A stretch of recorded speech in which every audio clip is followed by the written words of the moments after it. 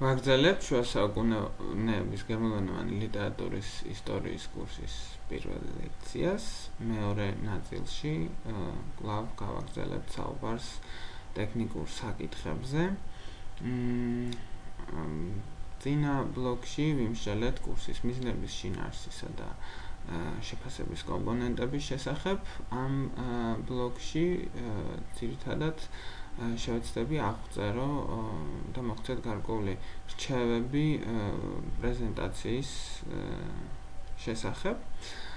თუმცა მანამდე მინდა ორივე სიტყვით გითხრათ, რომ კურსის გასავლელად სასურველია სტუდენტს გავლილი ჰქონდეს ლიტერატურაცოდნეობის შესავალი კურსი და ფლობდეს გერმანულ ენას ბერტ დონეზე მაინც. თუმცა იმ შემთხვევაში თუ ეს ასე არ არის და თქვენ მაინც გაქვთ სურვილი რომ გაიაროთ ეს კურსი, ვფიქრობ რომ არ უნდა შეეშინოთ თავი ამ მოთხოვნებით, რადგანაც არის შესაძლებელი გამოცდილება სახელმწიფო გასულ წლებში ირჩევდნენ ისეთი სტუდენტებიც ამ კურსს, რომლებიც არც ენას ფლობდნენ და არც ლიტერატურაცოდნეობაში ერკვევდნენ, მაგრამ მაინც წარმატებით ძლევდნენ ამ კურსს იმის ხარჯზე, რომ ესწრებოდნენ ყველა ლექციას, მონაწილეობას იღებდნენ სასემინარო დისკუსიებში, აქტიურად კითხულობდნენ ყველა ტექსტს იმ ენაზე, რომელიც მათთვის იყო უფრო ახლობელი და მისაღები, ანუ მოგხსენებათ ამ ტექსტების მოძიება შეიძლება ინტერნეტში და ისედაც სხვა ენებზე, ანუ რუსულად, ქართულად თუ არა, რუსულად მაინც და ინგლისურად მithumetes. მ ასე რომ მერწმუნეთ კურსის დაძლევა სასწრაფოდ შესაძლებელია მომდევნო შემთხვევაში განსაკუთრებული წინარე ცოდნის გარეშე. რაც შეეხება კურსის შედეგებს, ძირითადი შედეგი, რომელსაც მე მოველი თქვენგან ეს არის ის რომ თქვენ კურსის დასრულების შემდეგ უნდა შეძლოთ მსჯელობა შუა საუკუნეების ლიტერატურის ძირითადი ტენდენციების შესახებ კრიტიკული დამოკიდებულება უნდა გქონდეთ გამომშავებული ამ ეპოქაში შექმნილი ტექსტების მიმართ და რა თქმა უნდა ეს ყველაფერი შექმნის ძალიან კარგ საფუძველს იმისთვის რომ გააგრძელოთ შუა საუკუნეების ლიტერატურის შესწავლა. შეიძლება ეს იყოს სხვა ევროპული ქვეყნების ან საქართველოს ლიტერატურა ან გააგრძელოთ გერმანულენოვანი ლიტერატურის ისტორიის შესწავლა გულისხმობ უკვე მომდენო ეპოქების ლიტერატურას ეს არის ძირითადად რაც მინდოდა მეთქვა კურსის შედეგებისა და წინაპირობების შესახებ. ახლა კი გავდავალ კურსის პრეზენტაციაზე. ანუ ასე ვთქვათ, პრეზენტაციის გაკეთებასთან დაკავშირებულ მოთხოვნებზე.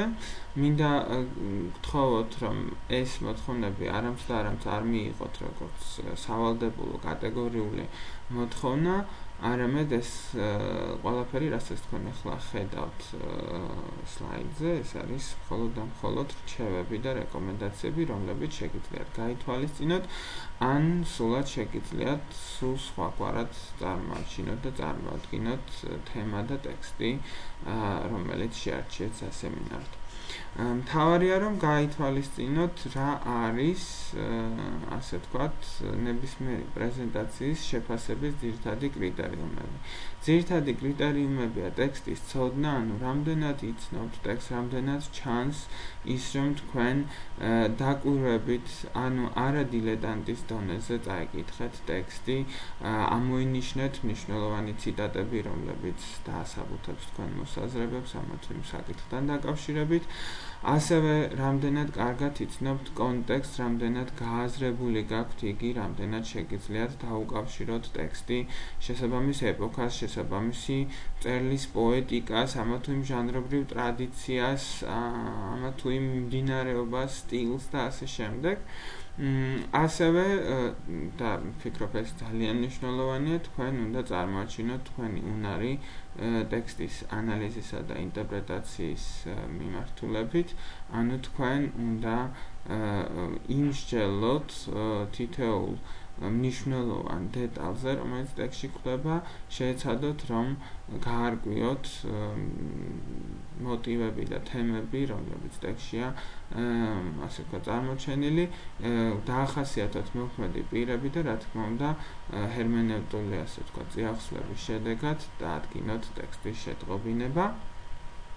და ბოლოს ძალიან მნიშვნელოვანი კომპონენტია შეფასებისთვის ასევე ის, რომ თქვენ პრეზენტაციისას უნდა გამოიყენოთ ვიზუალიზაციის ხერხები, შეიძლება იყოს დაფა, შეიძლება იყოს პლაკატი, ჰენდაუთი და ნებისმიერი რამ სლაიდშოუც მათ შორის, ან ყველაფერი რაც კი გამოგადგებათ თქვენი სათქმელის გადმოცემაში და რაც ასევე ძალიან მნიშვნელოვანია, პრეზენტაცია უნდა წარიმართოს მაქსიმალურად ინტერაქციულად. ანუ თქვენ უნდა წარმოიდგინოთ, რომ თქვენ უძღვებით ერთგვარ talk show, სადაც რა თქმა უნდა გაქვთ უკვე წინას წარმომზადებული თქვენი პოზიცია და თქვენი მოსაზრებების დამასაბუთებელი, ასე ვთქვათ, არგუმენტები. რა თქმა უნდა, ეს დისკუსია უნდა ქონდეს წინასწარ დაგეგმილი და მოფიქრებული, თუმცა თქვენ არ უნდა იყოთ ერთადერთი ადამიანი, ვინც ილაპარაკებს, არამედ უნდა შეეცადოთ, რომ ამ დისკუსიაში ჩართოთ რაც შეიძლება მეტი ადამიანი. ნებისმიერ შემთხვევაში უნდა გაითვალისწინოთ, რომ კატეგორიულად აქცელულია წინასწარ დაწერილი ტექსტის მომზადება და ამ ტექსტის უბრალოდ ხმამაღლა წაკითხვა პრეზენტაციის სახით. ეს არ არის პრეზენტაცია და ეს არ არ იქნება. კარგი პრეზენტაცია, ეს იქნება საერთოდ გამორიცხავს ყოველგვარ დისკუსიას და ვშიშობ რომ არც იქნება არავისთვის სასარგებლო, რადგანაც ეს არის მარტივ ფსიქოლოგიური კანონზომიერება, რომ ჩვენ გვამახსოვრდება ყველაზე უკეთ ის ინფორმაცია, რომლის ჩამოყალიბებასა და შემოშარებაში თავად ვიღებდით აქტიურ მონაწილეობას. ამრიგად მოგვიწოდებთ ყოველ მხრივ, რომ თქვენი პრეზენტაცია თუ დისკუსია გნებავთ, წარმართოთ მაქსიმალურად ინტერაქციულად. ეხლა რაც შეეხება ჩემს პრეზენტაციის აგებულებასთან დაკავშირებით, მე მინდა შემოგთავაზოთ რამდენიმე ნაბიჯი და მითითება იმასთან დაკავშირებით, თუ როგორ დასვათ კითხვები და რათან მიმდევრობით. პირველ რიგში ტექსტთან დასაახლოვებლად ალბათ ყველაზე კარგი ნაბიჯი იქნება ზოგადი შთაბეჭდილების გამო შთაბეჭდილებების გამოკითხვა ჯგუფში, ანუ ვის რა მოეწონა, რატომ მოეწონა ან არ მოეწონა, რა იყო მისთვის დამაფიქრებელი, რა იყო შთამბეჭდავი, გამაღიზიანებელი და ასე შემდეგ. ამ პირველადი რეაქციების საფუძველზე ძალიან ხშირად იკვეთება ხოლმე ძირითადი სადისკუსიო თემები და მიმართულებები. შემდეგ შეიძლება გააქტიურდეს ისევ რეფერენტი და მოკლედ გადმოგცეს პატარა ისეთი მოხსენების ფარგლებში ინფორმაცია იმის შესახებ თუ როდის და რა კონტექსში შეიქმნა ტექსტი, როგორი ადგილი უკავია მას მწერლის შემოქმედებაში და ზოგადად გერმანულენოვანი და შეიძლება სოფლიო ლიტერატურის ისტორიის კონტექსტშიც და საერთოდ რატომ არის ამ ტექსტის დაკითხვა მნიშვნელოვანი, რა თვალსაზრისით არის იგი სიმპტომური აღსანიშნავი და საყურადღებო. შემდეგი ნაბიჯი არის დისკუსია სათაურის შესახებ. აი, უკვე ამ საფეხურზე თქვენ შეგიძლიათ ჩართოთ დისკუსიაში არა მარტო ის სტუდენტები, რომლებსაც ტექსტი აქვს დაკითხული სემინარისთვის, არამედ ისეთი სტუდენტებიც, ვინც არ იცნობს ტექსტს სხვადასხვა ობიექტური თუ სუბიექტური მიზეზით. ასეთი სტუდენტებიც სამწუხაროდ ყოველთვის ხვდებიან ჯგუფებში. მმ ყველა მათგანს ნებისმიერ შემთხვევაში შეუძლია თავისი ასოციაციები ასე ვთქვათ გადმოსცეს და ამით შეიტანოს წვლილი ჯგუფურ მუშაობაში მით უფრო რომ სათაური არის ტექსტის ის ელემენტი რომელშიც ძალიან ხშირად გამოიკვეთება ხოლმე ყველაზე საკვანძო მონაცემები ტექსტის მთავარი თემის, მთავარი მოქმედი პირის, მთავარი კონფლიქტის შესახებ და ამრიგად ხშირად გვაძლევს ხოლმე წინასწარ ბიტს და აგვიძრავს წინასწარ მოლოდინს იმასთან დაკავშირებით, რაც მოგველის ტექსტში, და წაკითხვაც მოგველის ტექსტში.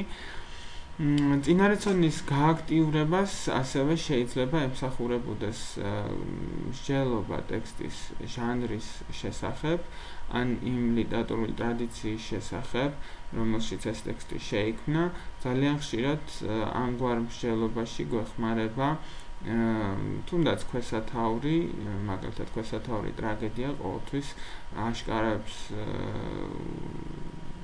ამ ტექსტის თავისებურებებს, მის კომპოზიციას, იმას, რომ თავარი მოქმედებები აუცილებლად უნდა შეცდეს და ამ შეცდომის გამო ბოლოში აუცილებლად უნდა იყოს ერთგვარი ტრაგედია. შემდეგ შეგვიძლია ვიმსჯელოთ მოქმედების დროსა და ადგილზე, ამ ხრივ ძალიან მნიშვნელოვანია რომ გავითავისოთ მარტივი შემოქმედებითი დეტალი ანუ შევიხედოთ მწერლის სამზარეულოში და თუ შევიხედოთ ამ სამზარეულოში აღმოვაჩენთ რომ მწერალს უწევს ძალიან სერიოზული სამუშაოს ჩატარება იმისთვის რათა შეარჩიოს მოქმედების ადგილი დრო და საერთოდ ყველა დეტალი ტექსტისა მოქმედების ადგილსა და დროს ასევე შეიძლება ქონდეს სიმბოლური მნიშვნელობა და ჩვენ უნდა შევეცადოთ გავარკვევოთ რატომ შეერჩია მწერალმა თავისი ტექსტისთვის, თავისი შეტყობინებისთვის, მის განაცემაც უნდა და ამ ტექსტის მეშვეობით კონკრეტული ადგილი და დრო. საერთოდ კითხვა რატომ ხშირად უნდა დავსვათ, იმიტომ რომ ჰუმანიტარული მეცნიერებები ძირითადად სწორედ ამ კითხვაზე ცდილობენ პასუხის გაცემას. რა თქმა უნდა, ძალიან მნიშვნელოვანია აღწერაც, ანუ ჩვენ ყველამ უნდა აღწეროთ ძალიან ბევრი დეტალი, შევაკროთ ასე ვთქვათ, მონაცემები და ამ მონაცემებზე დავყაროთ ჩვენი ასე ვთქვათ თეზები, თეზისები, მაგრამ სწორედ ამ ძიმე სამუშაოს შემდეგ ეს ყველაფერი კეთდება საბოლოო ჯამში იმისთვის, რომ ჩვენ გავცეთ პასუხი კითხვაზე, რატომ? ანუ გავაკეთოთ ტექსტის ინტერპრეტაცია, მისი დეტალების ინტერპრეტაცია და შევეცადოთ, რომ ერთ მთლიანობაში მოვაქციოთ ყველა ეს მონაცემი. აა შემდეგი საფეხური ეს არის მოქმედების პრეზენტაცია.